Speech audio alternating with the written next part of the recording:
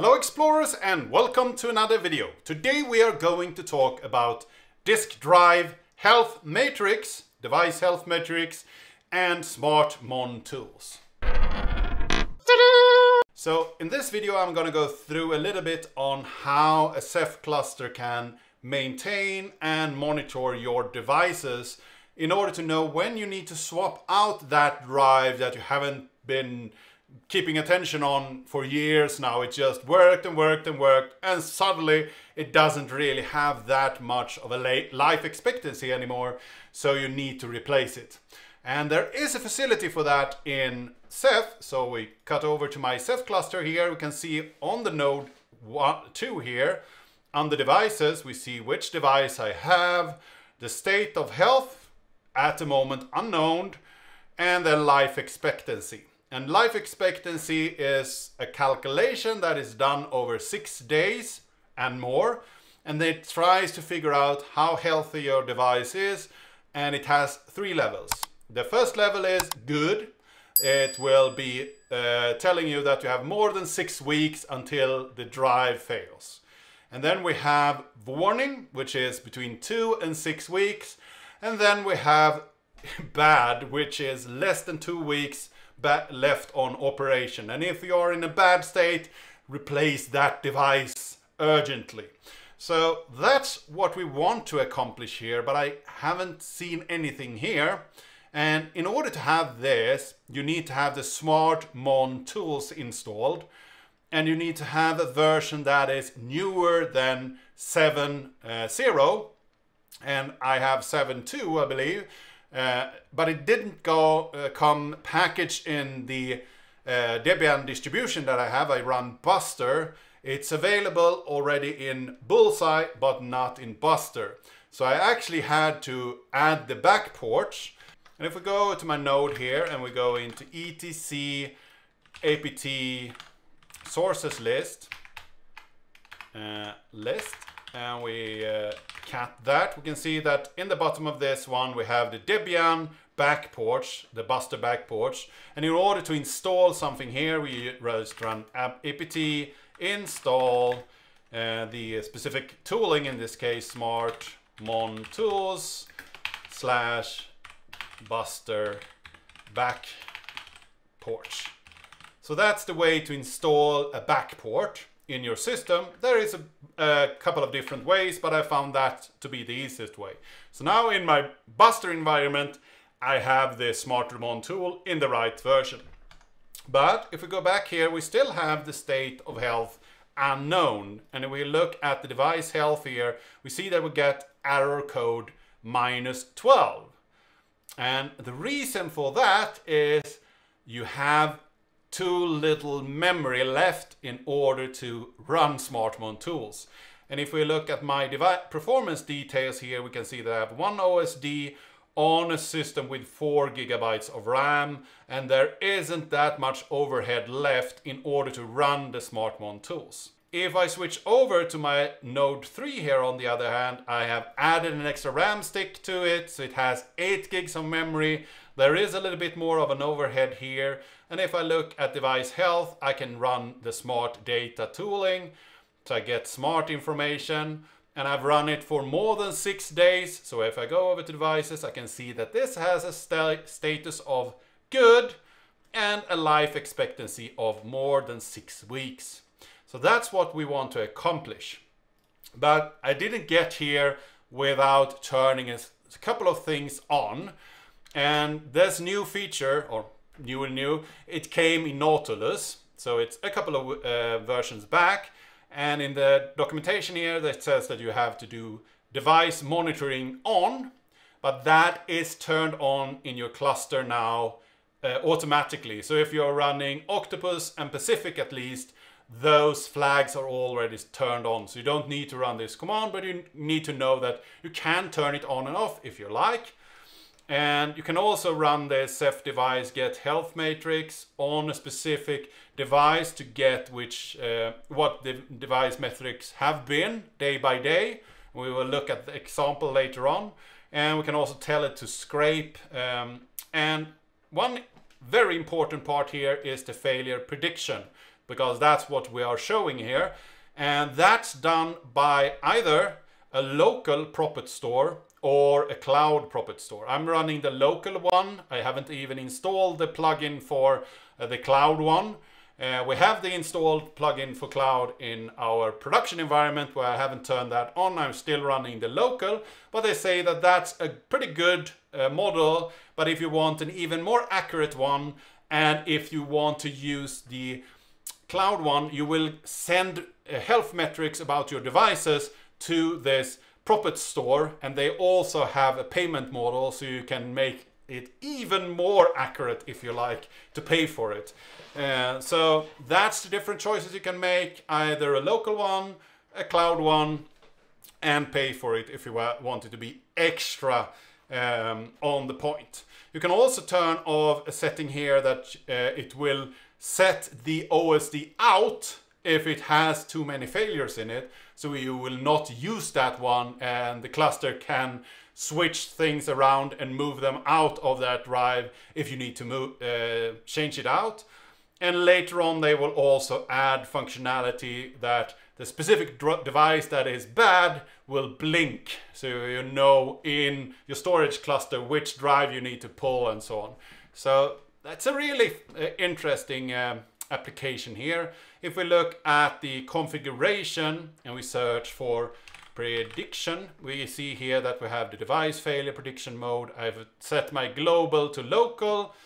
And if we go at the manager models here, we see that I have the prediction local model here, and I turn that on. And here we have prediction interval and device health. We also have an, a scrape frequency, and both of those are every 24 hours.